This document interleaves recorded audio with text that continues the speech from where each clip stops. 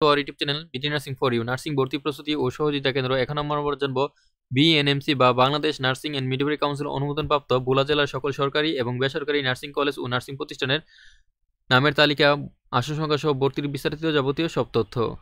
প্রথমে রয়েছে বোলা নার্সিং ও মিডওয়ারি কলেজ এটি একটি সরকারি নার্সিং প্রতিষ্ঠান। এখানে diploma nursing science and midwifery কোর্সে আসন রয়েছে পঞ্চাশটি। ডিপ্লোমা মিডওয়ারিতে পঁচিশটি বিএসসি নার্সিং কোর্সে পঞ্চাশটি।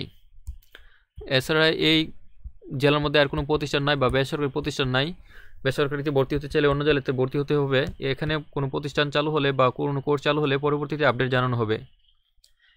এই কলেজে বা বাংলাদেশের যে কোনো নার্সিং কলেজে ভর্তি হতে চাইলে আপনাকে ইন্টারমিডিয়েট বা এসিসি পাস করতে হবে। এসিসি ফলাফল প্রকাশিত হলে অন্যান্য পাবলিক বিশ্ববিদ্যালয়ের পাশাপাশি নার্সিং ভর্তি পরীক্ষার সার্কুলার দিবে, তখন সেখানে আবেদন করতে হবে। তাছাড়া সেকেন্ড টাইম নার্সিং ভর্তি পরীক্ষা দেওয়া যাবে। Diploma in nursing science and midwifery কোর্সে আবেদন করতে চাইলে ছেলে মেয়ে সবাই আবেদন করতে পারবে, যে কোনো গ্রুপ থেকে আবেদন করতে পারবে। এসএসসি ও এসএসসি মিলে কমপক্ষে সিক্স পয়েন্ট থাকতে হবে। ডিপ্লোমা ইন মিডিফাইতে শুধুমাত্র মেয়েরা আবেদন করতে পারবে এসএসসি ও এসএসসি মিলে কমপক্ষে সিক্স পয়েন্ট থাকতে হবে। আর বিএসসিতে বিজ্ঞান গ্রুপের হতে হবে, ছেলে মেয়ে সবাই আবেদন করতে পারবে এসএসসি ও এসএসসি মিলে কমপক্ষে সেভেন পয়েন্ট থাকতে হবে।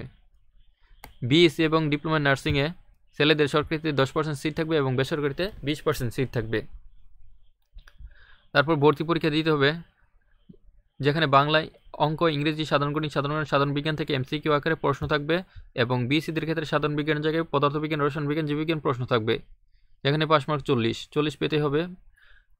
তাছাড়া এসএসসি জিপিতে বিশ মার্ক এসএসসি জিপিতে তিরিশ মার্ক, মোট দেড়শো মার্ক। দেড়শো মার্কের মধ্যে সিট অনুযায়ী যাদের স্কোর বেশি থাকবে তারাই সরকারিতে চান্স পাবে। আর বেসরকারি যে কোনো প্রতিষ্ঠানে ভর্তি হতে চাইলে সরকারি ভর্তি পরীক্ষা কমপক্ষে চল্লিশ পেতে হবে। চল্লিশ পেলেই বেসরকারি যে কোনো প্রতিষ্ঠানে সরাসরি ভর্তি হয়ে যাবে বা আবেদন করা যাবে। নার্সিং বিষয়ে যে কোনো প্রশ্ন থাকলে ভিডিও নিচে কমেন্ট বক্সে কমেন্ট করে প্রশ্ন করুন। আর এই জেলার মধ্যে যেহেতু বেসরকারি প্রতিষ্ঠান নাই, আর সারা বাংলাদেশে সরকারি এবং বেসরকারি পরীক্ষা একটি হবে। চয়েস এখানেও দিতে পারেন, অন্য জেলাতে দিতে পারেন, তবে এখন সরকারি ভর্তি পরীক্ষায় কমপক্ষে চল্লিশ পেলেই অন্য যে কোনো বেসরকারি কলেজে ভর্তি হতে পারবেন। কমপক্ষে চল্লিশ পেলেই বা পাশ করলেই।